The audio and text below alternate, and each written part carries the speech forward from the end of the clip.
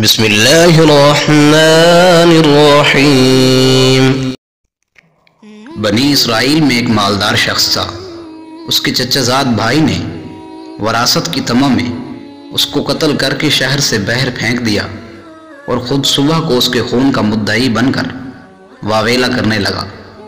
लोगों ने हज़रत मूसा सलाम से अर्ज़ किया कि आप दुआ फरमाएँ कि अल्लाह ताला इस बात को ज़ाहिर फरमाए।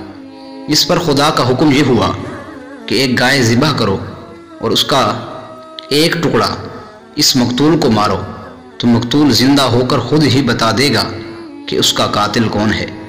लोगों ने यह बात सुनकर हैरान होकर पूछा, क्या ये मज़ाक तो नहीं? हज़रत मूसा ने फरमाया, माज अल्लाह, क्या मैं ऐसी कोई फजूल बात करूँगा? मैं बिल्कुल सही कह रहा हूँ। लोगों ने पूछा तो फिर फरमाइएगा गाय कैसी हो? हज़रत मूसा सलाम ने फरमाया, खुदा फरमाता है कि ना बहुत बूढ़ी हो, ना बिल्कुल ना उम्र हो, बल्कि इन दोनों के बीच में हो। लोगों ने कहा, अल्लाह से ये भी पूछिएगा कि इसका रंग कैसा हो? फरमाया, खुदा फरमाता है कि पीले रंग की गाय हो, जिसकी रंगत देखने वालों को खुश कर देने वाली हो। लोगों ने फिर कहा कि गाय की हर हैसियत के मुतालिक, ज़रा तफसील से पूछ लीजिए ऐसा ना हो कि हमसे कोई गलती हो जाए। हज़रत मूसा सलाम ने फरमाया, खुदा फरमाता है कि ऐसी गाय हो, जिससे कोई खिदमत ना ली गई हो, ना हल जोती गई हो, ना उससे खेती को पानी दिया गया हो और बेआब हो, जिसमें कोई दाग ना हो। अब वो लोग इस किस्म की गाय की तलाश करने लगे, मगर ऐसी गाय का मिलना मुश्किल था। एक गाय के मुतालिक उन्हें पता चला कि वो गाय इन सिफात से मासूफ है। वो गाय एक यतीम बच्चे की गाय थी और उस गाय का किस्सा ये था कि बनी इसराइल में एक साल है आदमी था, जिसका एक छोटी उम्र का बच्चा था और उसके पास इस गाय के बच्चे के अलावा कुछ ना बाकी रहा था।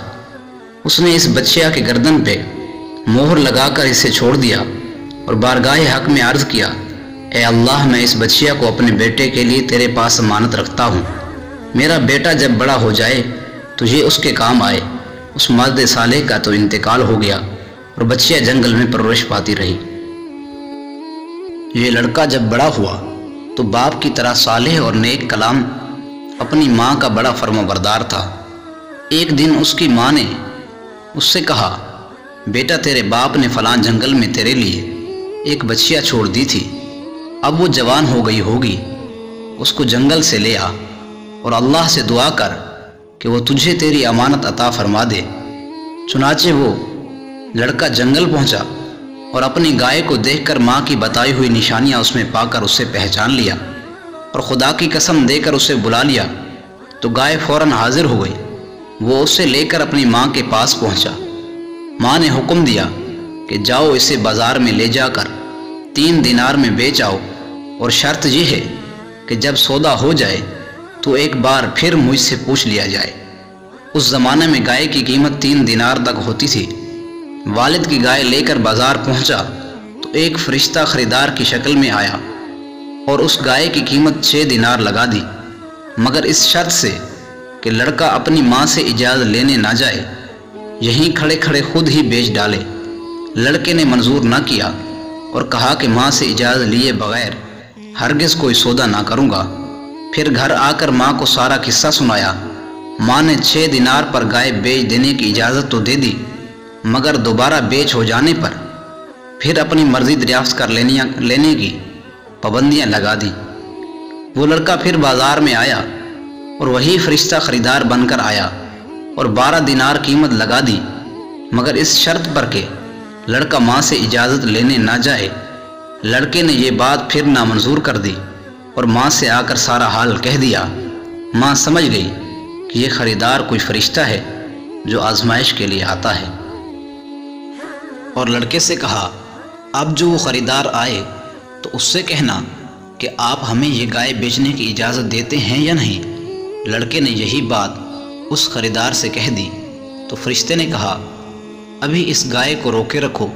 जब बनी इसराइल ख़रीदने आए तो इसकी कीमत ये मुकर करना कि इस गाय की खाल को सोने से भर दिया जाए। लड़का गाय को घर वापस ले आया। यह गाय एक ही ऐसी गाय थी, जिसमें खुदा की बनाई हुई सारी सिफात पाई जाती थी और जिसकी बनी इसराइल को तलाश थी। चुनाचे बनी इसराइल को इस गाय का पता चला तो मकान पर पहुँचे तो उस गाय की यही कीमत मुकर हुई कि इसकी खाल को सोने से भर दिया जाए।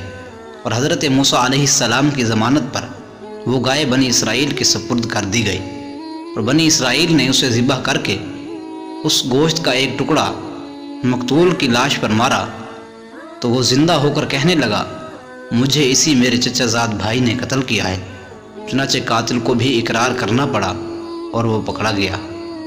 कुरान करीम पारा नंबर एक, तफसर रोहुल बयान।